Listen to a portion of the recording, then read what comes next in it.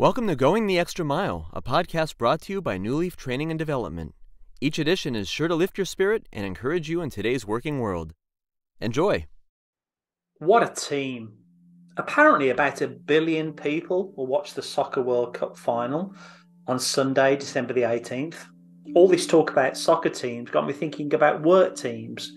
Just like you, I'm sure, I've worked on superb teams and some that lost their game early on and in doing so, the team members chose to change teams and move to other workplaces. My observation has been that most teams don't work.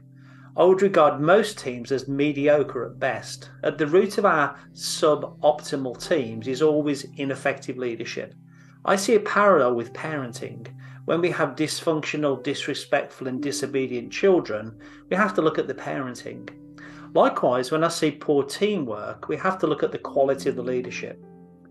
There have been so many times over the last 17 years when we at Newleaf Training and Development have been contacted by leaders who ask if we do team building or whether we can inject some energy into the team, or most recently, we were asked to rally the troops.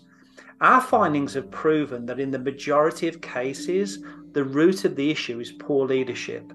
As an analogy, it's as if leadership is the root of the tree and the performance of the team is simply the quality of the fruit when the root is healthy.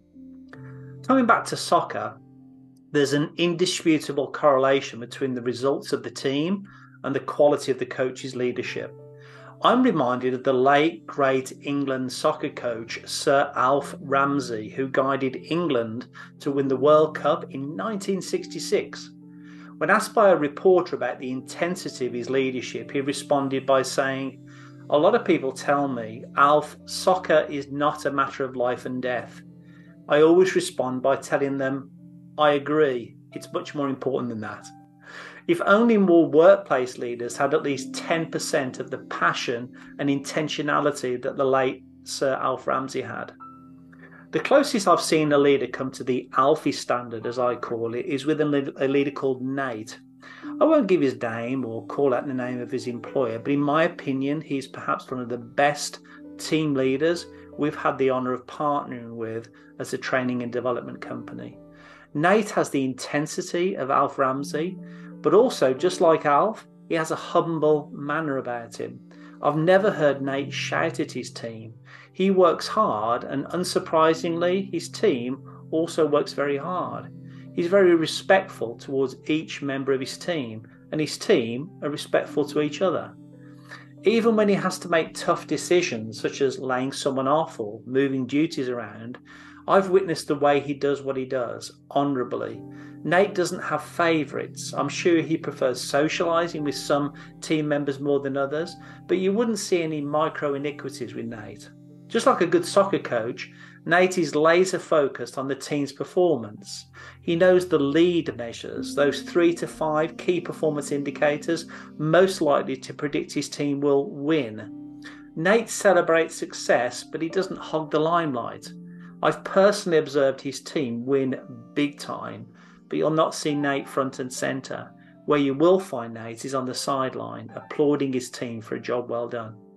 So it may be the final whistle on the Soccer World Cup competition will soon blow, at least for another four years. But in the meantime, if we're leaders of teams or owners of businesses, we can endeavour to be the best coaches we can be. Remember the quality of your remember the quality of the fruit, in other words, your team's results, is directly related to the healthiness of the root of your leadership. As employees or entrepreneurs, we invest so much time at work. Why not choose to make the best contribution you can? Our work is not just a matter of life and death, it's much more important than that. I hope you found that short story useful, and if you did, feel free to rate, review, and share this podcast. We'll be back next week with another episode, and we also invite you to check out our other weekly podcast, Take 5 an inspiring interview with a leader worth listening to. Bye for now.